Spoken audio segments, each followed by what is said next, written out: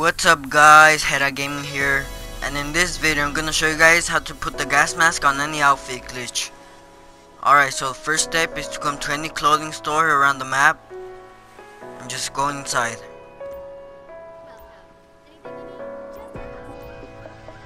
And first of all, make sure you have the outfit you want to put the gas mask onto. After you've done that, go up to the counter, and go to highest cover all outfits just select one that has a gas mask on it.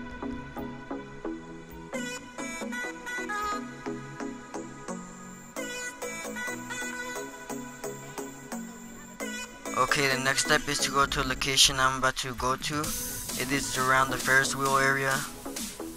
And just go to any telescope you see around there.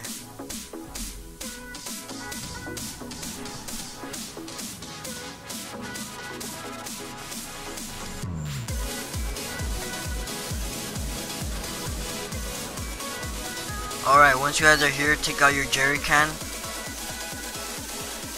and just make a line with the gas.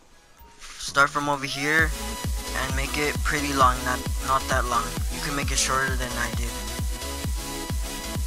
And take out a gun with a suppressor and go right in front of the telescope and then shoot the gas from the end and quickly press right so you can see through the telescope.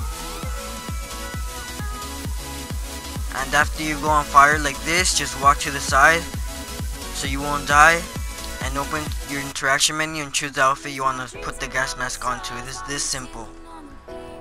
So just wait a couple seconds.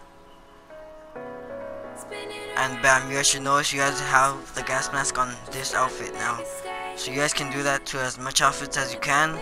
And you guys can actually make some pretty cool outfits so if you like the one you made you guys can go save it to a clothing store like I'm about to do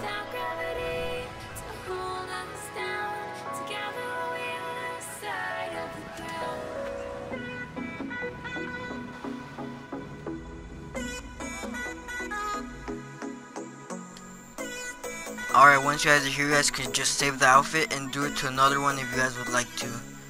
So that's basically it for this video. If you enjoyed, drop a like. Let's try and reach 15 likes on this video. It's been Gera Gaming and see you guys in the next one. Peace out guys.